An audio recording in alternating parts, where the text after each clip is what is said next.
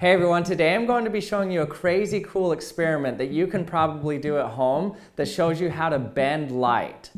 But before I do that experiment, I want to first convince you that light moves in a straight line. Okay, proof number one that light usually moves in a straight line.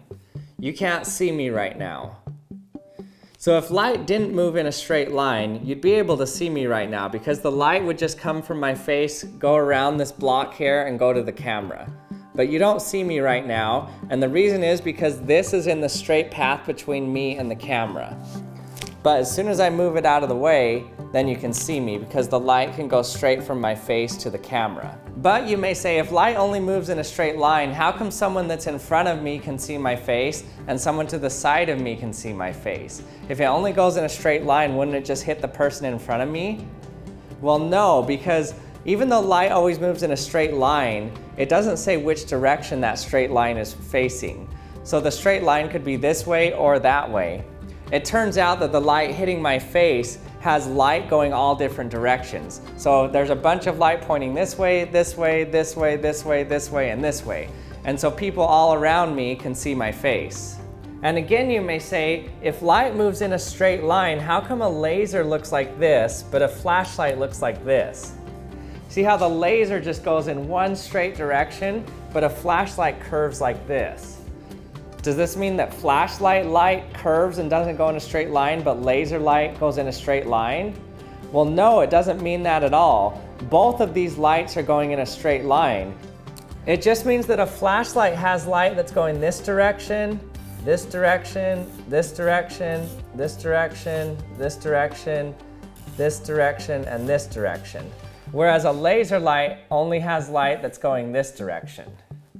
So you can see that all of these rays of light are moving in a straight line, but they're just pointing different directions. So all light moves in a straight line, but it doesn't always point the same direction. So what I want to show you today is not just light that's pointing in a different direction, but light that goes like this. So now that you believe me that light does go in a straight line always, the question is, why does it go in a straight line? Why is light always moving straight? Why doesn't it ever look like this? Well, there's a lot of answers to this question and it can get really complicated depending on how you look at it. But today I want to give the easiest right answer. Remember I showed you in a previous video that light has momentum. And I showed you this by reflecting light hanging off a reflector in a vacuum, and I showed you that you could turn the reflector just by shining light on it. Now there's a specific law in physics called conservation of momentum, and it means that momentum is always conserved. So if you have momentum in one direction, it has to continue in that direction.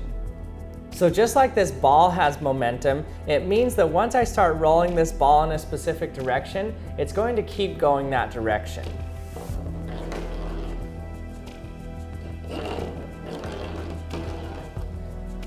And the only way it can change directions is if I add momentum to the system. So as a result of that, light always moves in a straight line for the same reason that any object that we throw moves in a straight line from when we throw it. Now the conservation of momentum explanation for light moving in a straight line is the easiest one that's also correct, but there's also a bunch of different explanations you could use. A lot of them having to do with quantum mechanics. The quantum mechanical explanation has to do with superposition, mainly that the wave function of all of the photons being emitted cancel each other out in every direction except the forward direction straight ahead of it. So at this point we know why light moves in a straight line and we know that it does always move in a straight line. So the speed of light in a vacuum is a constant that never changes and it's the fastest that light can go. But when you put light in different materials, then you start to slow down that light a little bit. So let's say I put it in this material that's kind of dense. So these are atoms that are absorbing then re-emitting the light. So it's a transparent material, the light goes straight through it. But what happens is the light hits an atom, gets absorbed and then re-emitted, and so it kind of takes some time to get through. So the time in between atoms, it's actually moving at the speed of light in a vacuum. But this time of absorbing and then re-emitting by these atoms adds to the overall time. So it appears as though light is moving slower in a material that has more atoms. And so if you had a material that was really dense, then it would appear that light moves really slow through it.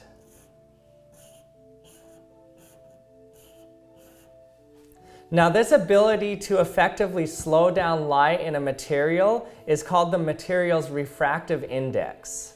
So this has a high refractive index, this has a medium one, this has a low one. Now the effect of light moving slower as it goes through a denser medium is actually really interesting because what it causes it to do is that as soon as the light enters that new medium, it causes the light to bend.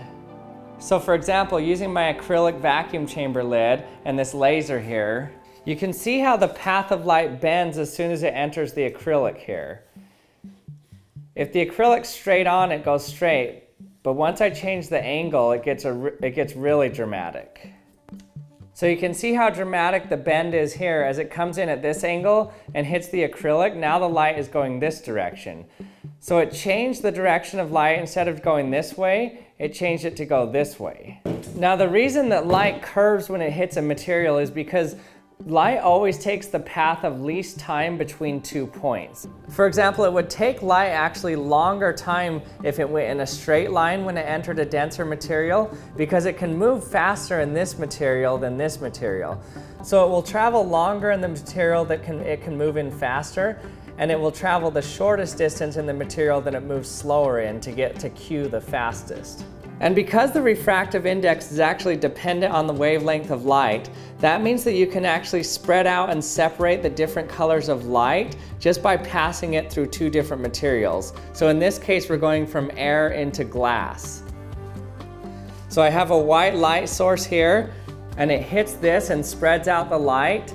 And then you can see on the wall here, all the different colors that are actually in that white light. So this is because the red light moves at a slightly different speed in the glass than the violet here. And so that means that they're bent a little bit different. And because they're bent a little bit different, they come off at different angles so they can get split up like this. So now at this point, now we know that light always moves in a straight line, but if it hits a different material with a different density, then it changes directions. But at that point, once it's in that new material, it still moves in a straight line. So no matter how hard we try with those other materials, light still ends up going straight in whatever material it's in. But now I want to show you a special material that within that material, light doesn't even go in a straight line. So even though it's staying within the same material, you'll see the light actually form kind of an arch. It'll curve within the material itself. Let me show you what I mean. Okay, so I've filled my vacuum chamber up with a very specific material. And what this material is going to do is towards the bottom, when I move my beam of uh, laser down towards the bottom, it's going to bend it so that it points at the bottom instead of just going straight. Okay, here we go, shining my laser through it. Look what happens as it gets near the bottom. Look how it looks like it's attracted to the bottom. So it curves. So cool.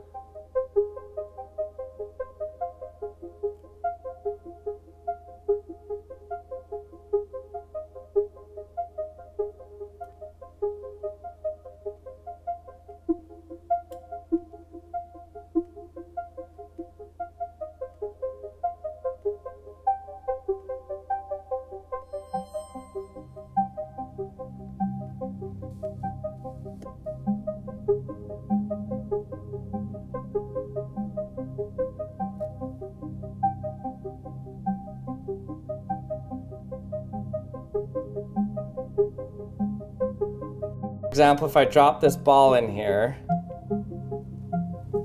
so you can see how the light can come above the ball, but then hit below it. it's pretty cool. So what I've created here is called a gradient index material. And what that means is that the material that's in here is not one consistent density, but it's higher density at the bottom and lower density at the top. And so what that means is that as light gets towards the bottom, it's going to bend more. So what's interesting about this is watch what it looks like as we move low. it looks like the bottom of the chamber is bowing up. So you can see the ball just sitting there like normal from above. And then I'm gonna come down and see what it looks like as I move, as I move lower here. Let's see when we can stop seeing it now. So we can see it still, we can see it, can see it.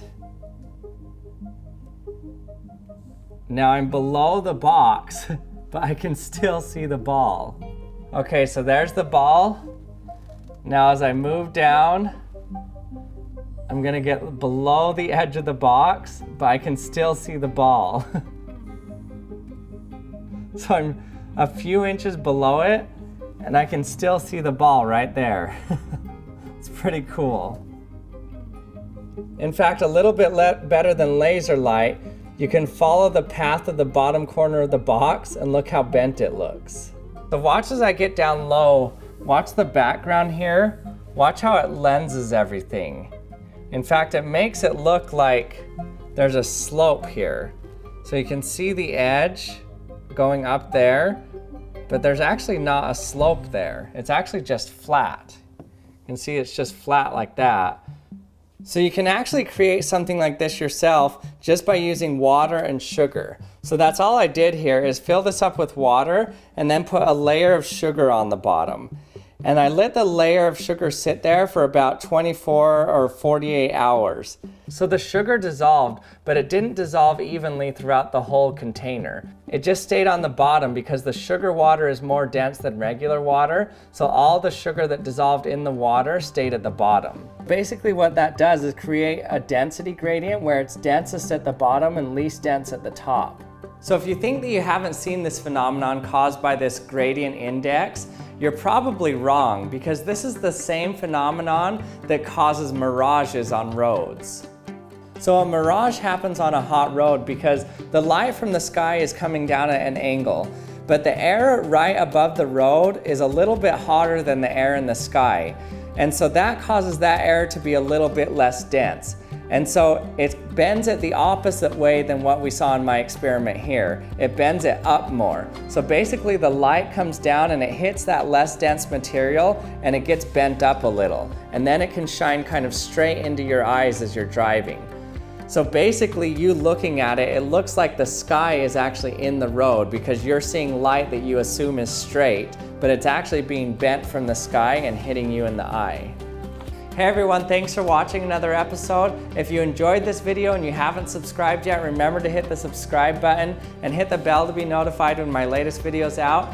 And if you haven't checked it out yet, head over to theactionlab.com to check out the Action Lab subscription box. And thanks for watching and I'll see you next time.